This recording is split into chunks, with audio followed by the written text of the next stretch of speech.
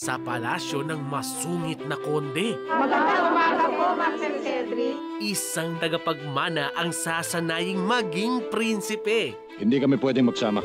para sila'y magkasundo. Ang kabutihan ay sinusuklian ng kabutihan. Ang natatanging yaman ng ating bida ay ipamamahagi. Yes! Magbigay-pugay sa mas pinakulay na kwento ni Sedi sa Kids Cine Sunday, 5pm sa Yay!